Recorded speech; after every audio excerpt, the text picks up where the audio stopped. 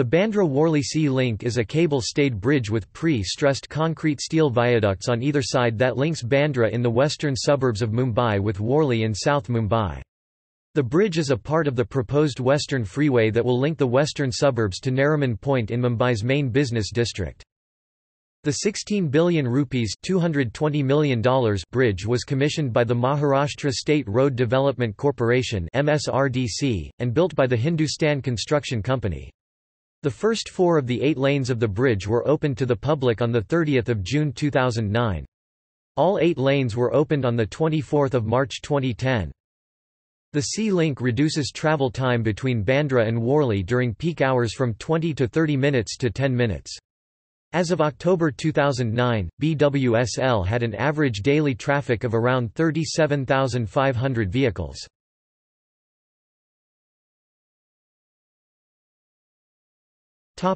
History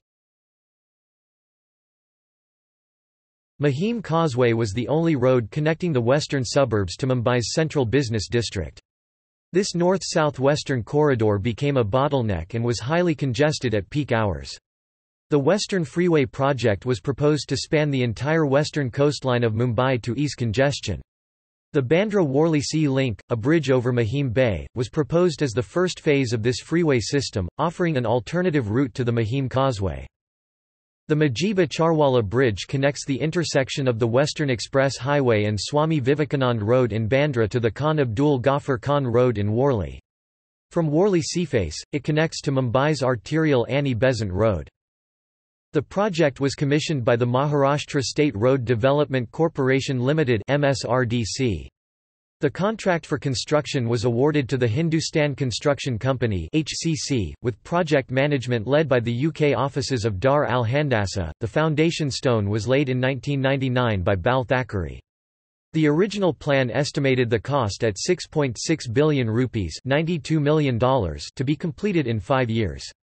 But the project was subject to numerous public interest litigations, with the five-year delay resulting in the cost escalating to 16 billion rupees $220 million, with the additional interest cost alone accounting for 7 billion rupees $97 million.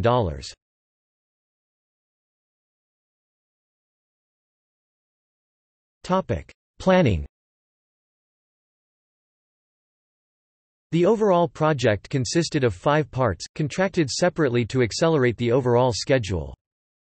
Package I – Construction of a flyover over Love Grove Junction in Worli Package 2 – Construction of a cloverleaf interchange at the intersection of the Western Express Highway and SV.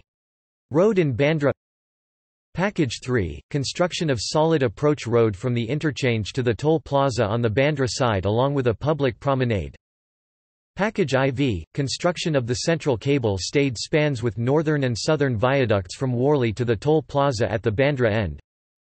Package V – Improvements to Khan Abdul Ghaffar Khan Road Package IV was the main phase, with the other packages providing supporting infrastructure.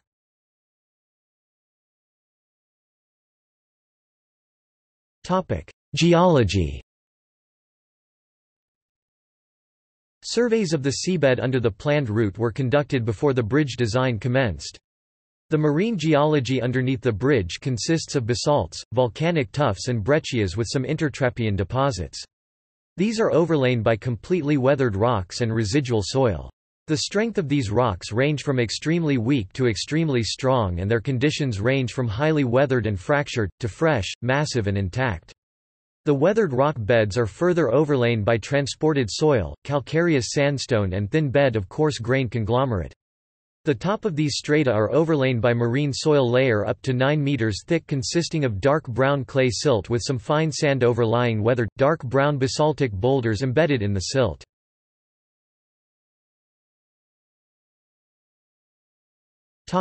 Design BWSL was designed as the first cable-stayed bridge to be constructed in open seas in India. Due to the underlying geology, the pylons have a complex geometry and the main span over the Bandra Channel is one of the longest spans of concrete deck attempted. Balancing these engineering complexities with the aesthetics of the bridge presented significant challenges for the project. The superstructure of the viaducts were the heaviest precast segments to be built in India. They were built using a span-by-span -span method using overhead gantry through a series of vertical and horizontal curves. The 20,000-ton Bandra end span of the bridge deck is supported by stay cables within a very close tolerance of deviations in plan and elevation. The Bandra Worli Sea Link was the first infrastructure project in Mumbai to use seismic arresters. These will enable it to withstand earthquakes measuring up to 7.0 on the Richter scale.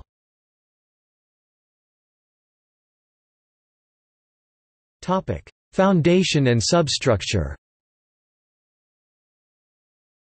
The construction of the bridge's structure presented major engineering challenges. These included the highly variable geotechnical conditions due to the underlying marine geology of the seabed. At times, even for plan area of a single pile had a highly uneven foundation bed. Further complications included the presence of a variable intertidal zone, with parts of the foundation bed exposed in low tide and submerged in high tide. The foundations for the BWSL's cable-stayed bridges consist of 120 reinforced concrete piles of 2,000 mm 6.6 feet diameter. Those for the viaducts consist of 484 piles of 1,500 mm 4.9 feet. These 604 piles were driven between 6 meters and 34 meters into the substrate in geotechnical conditions that varied from highly weathered volcanic material to massive high-strength rocks.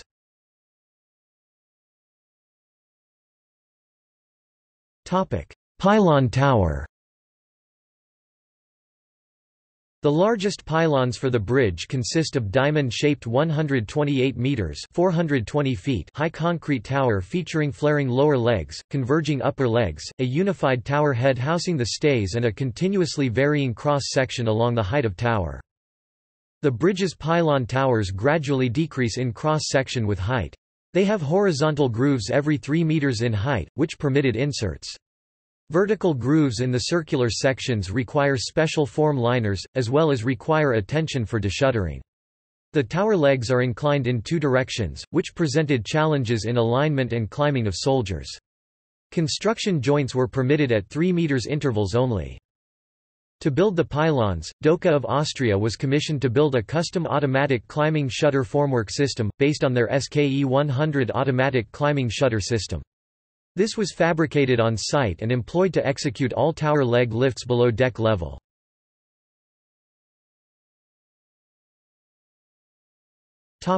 Precast yard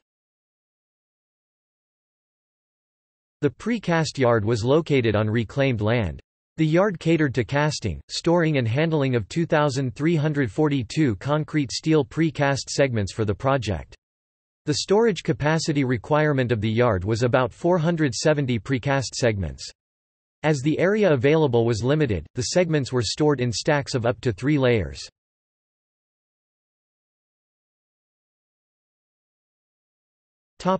Structure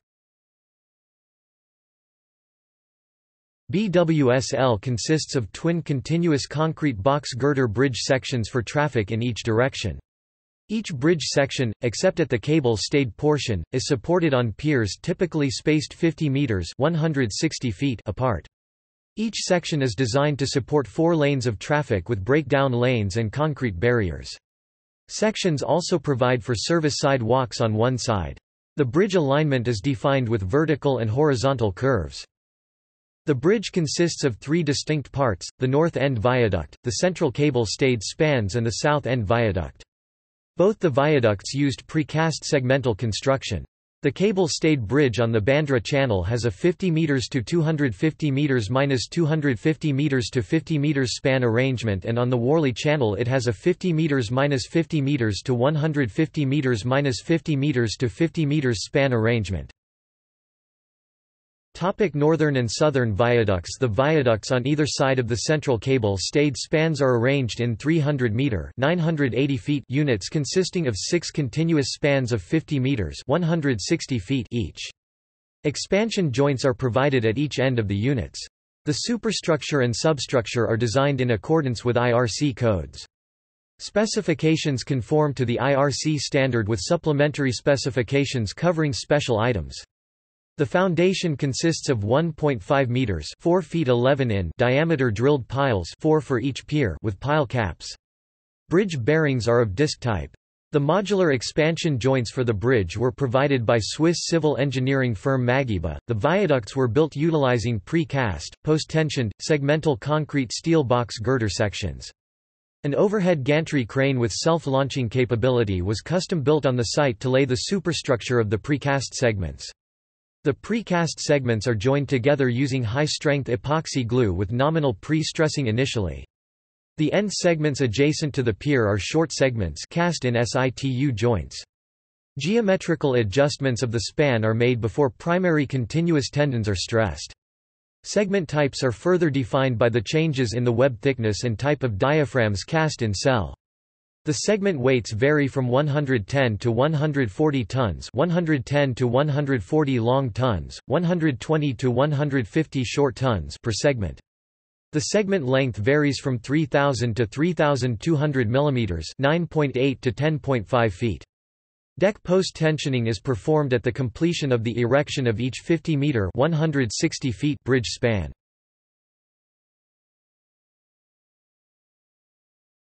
Topic: Cable stayed spans. The cable-stayed portion of the Bandra Channel is 600 meters (2000 feet) in length between expansion joints and consists of two 250-meter cable-supported main spans flanked by 50 meters conventional approach spans. A center tower, with an overall height of 128 meters above pile cap level, supports the superstructure by means of four planes of cable stay in a semi-harp arrangement. Cable spacing is 6.0 meters along the bridge deck. The cable-stayed portion of the Worli Channel is 250 meters (820 feet) in length between expansion joints and consists of one 150 meters cable-supported main span flanked on each side by two 50 meters conventional approach spans. A center tower, with an overall height of 55 meters, supports the superstructure above the pile cap level by means of four planes of cable stay in a semi-harp arrangement. Cable spacing here is also 6.0 meters along the bridge deck. The superstructure comprises twin precast concrete box girders with a fish belly cross-sectional shape, identical to the approaches. A typical precast segment length is 3.0 meters with the heaviest superstructure segment approaching 140 tons. Balanced cantilever construction is used for erecting the cable-supported superstructure as compared to span-by-span -span construction for the approaches. For every second segment, cable anchorages are provided.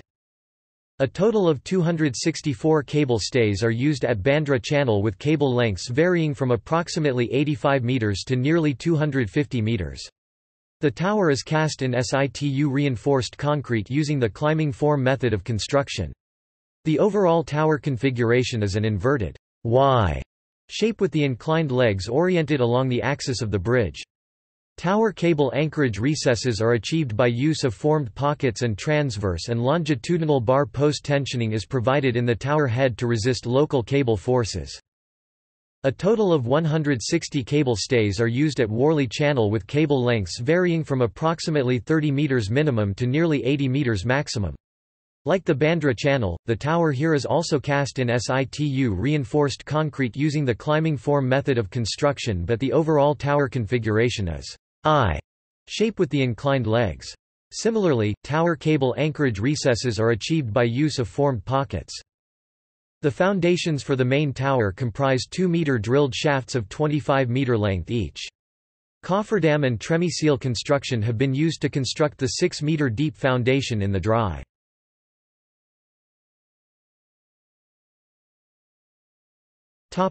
Bridge management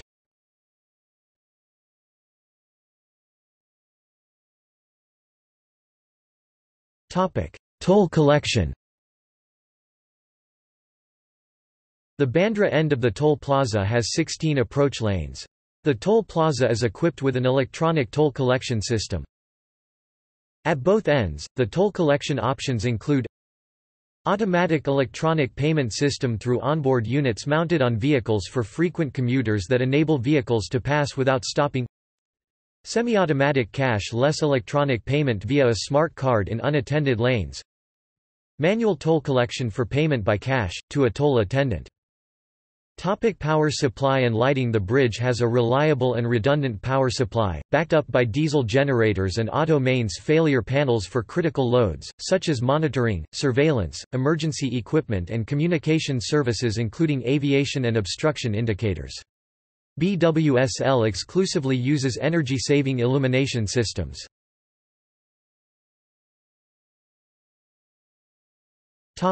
Surveillance and security An Intelligent Bridge Management System provides traffic information, surveillance, monitoring and control systems. It comprises CCTVs, automatic traffic counters and vehicle classification system, variable message signs, remote weather information system and emergency telephones. The control center is located near the toll plaza along with the electronic tolling controls. The control system uses fiber optic cables running the entire span of the BWSL. Toll and advanced traffic management systems were installed. For traffic enforcement, the bridge includes facilities for vehicles to pull over when stopped by enforcement officers or in the event of a breakdown. The bridge uses mobile explosive scanners for vehicles traveling on the Sea Link. Scans take less than 20 seconds for each vehicle with sensors above and below the vehicles.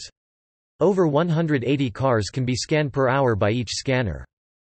The pillars and the towers supporting the bridge are protected by buoys designed to withstand explosions and collisions.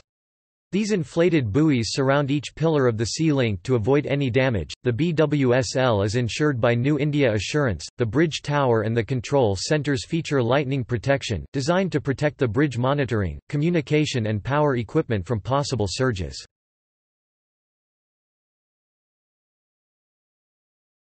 Topic: Accessibility. The BWSL is not accessible to pedestrians, and was not designed for them, according to the MSRDC's Satish Gavai. Two-wheeled cycles and three-wheeled vehicles are prohibited as well.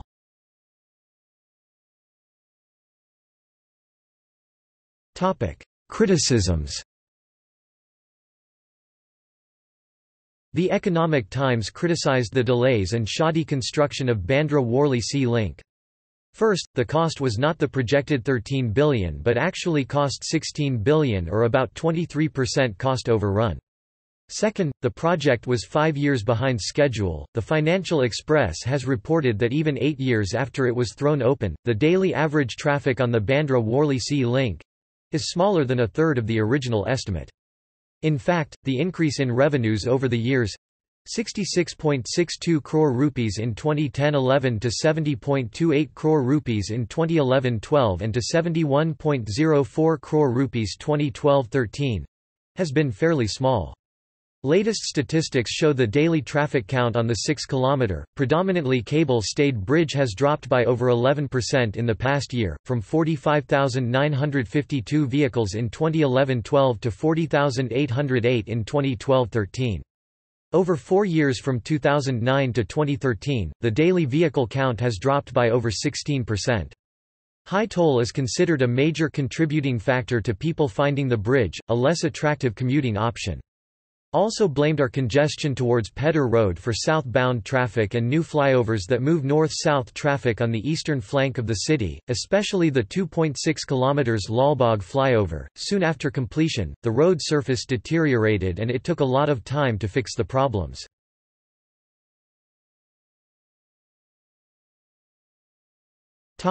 See also Mahatma Gandhi Setu Vikhroli Koparkhairane Link Road Pamban Bridge Worli Haji Ali Sea Link Mumbai Trans Harbour Link Hancock Bridge List of longest bridges in the world